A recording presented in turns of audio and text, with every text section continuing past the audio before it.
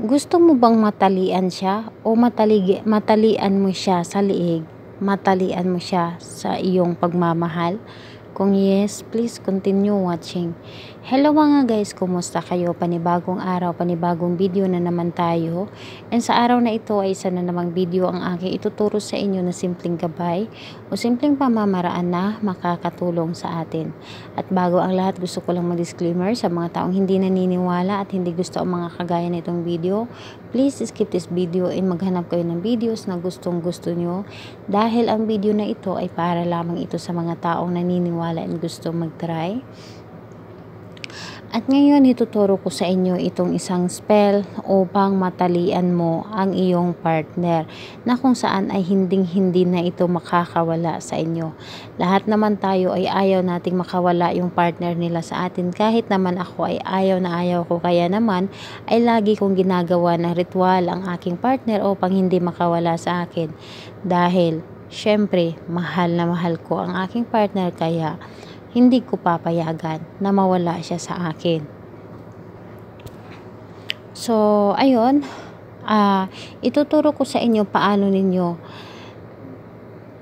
mahawakan o paano ninyo matalian ang inyong partner at inyong mapasunod. Dito ay sobrang mapasunod talaga siya kapag ito ay inyong ginawa. Subok na subok ko na ito at lagi or nagawa ko na rin ito sa aking partner kaya naman yung partner ko ay hanggang ngayon ay sobrang uh, kahit anong away ko pa sa kanya kahit anong uh, uh, palayas ko pa sa kanya na sinabi ko na na ayaw ko na sa kanya ay ayaw pa ayaw pa rin bumitaw sa aming relasyon. Kaya naman ay ituturo ko sa inyo upang hindi rin bibitaw ang partner ninyo sa inyo at talagang mahahawakan nyo talaga sila sa liig at mapasunod mo pa ito sa iyong gusto. Pwede itong gawin sa babae to babae in lalaki to lalaki. Pwede rin ito sa magkalapit at magka-LDR. Siyempre, hindi natin magagawa ang isang ritual kung wala tayong gagamiting materialis. So, ano nga ba ang materialis na ating gagamitin? So, materialis na ating gagamitin is kailangan natin dito ng cinnamon stick. So, kailangan natin dito ng cinnamon stick at larawan. So, larawan. Kung maaari ay larawan ninyong dalawa.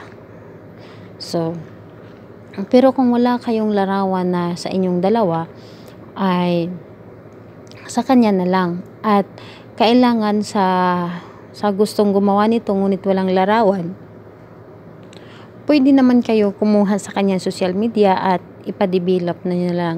Ipaputokopy nyo na lang or di kaya ipaprint pwede na yon at kung wala ka talagang larawan na tulad nito ay hindi mo pwedeng gawin. So ayun dapat ay may larawan talaga at ayun cinnamon stick at kailangan natin dito ng pulang panali. So ito ay sinulid. So ito ay sinulid na pula, dapat pula or di kaya ribbon or tri, uh, tawag nito yung yarn. Nakadepende sa inyo kung ano ang meron kayo. So ito lang tatlo ang ating kakailanganin. So ngayon, kapag ready na ang materialis is kailangan mong i-relax ang iyong sarili. Kailangan mo na magmuni-muni muna at isang tabi mo muna yung mga iniisip mong problema at i-focus mo yung sarili mo sa paggawa ng ritual at i-make sure mo na buo ang iyong tiwala sa iyong paggawa buo ang iyong tiwala sa ritual na gusto mong gagawin.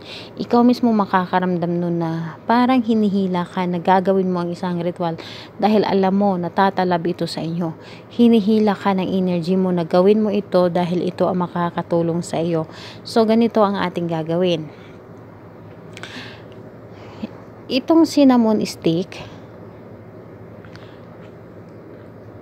at ang daang ano ang larawan ay ibilot mo lamang ang, ang cinnamon stick or ang larawan dito sa cinnamon stick.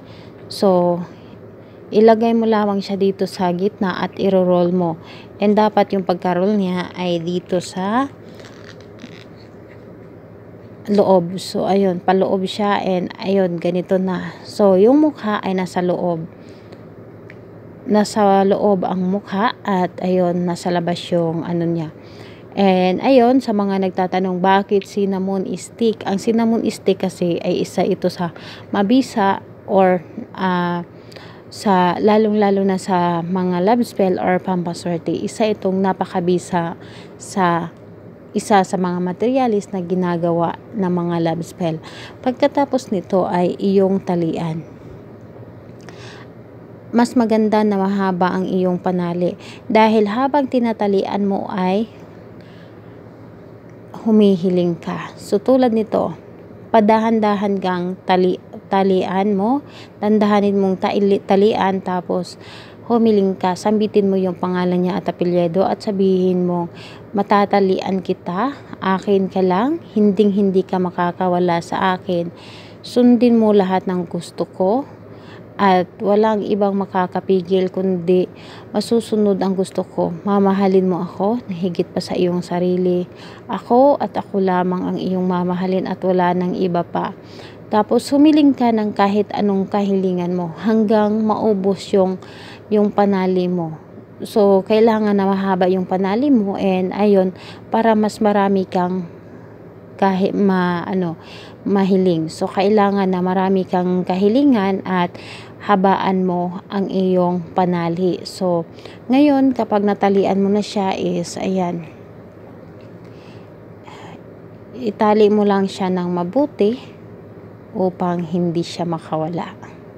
So ganito na natalian mo na siya ilagay mo ito doon sa ilalim ng iyong unan. Ilagay mo ito sa ilalim ng iyong unan at hayaan mo siya doon.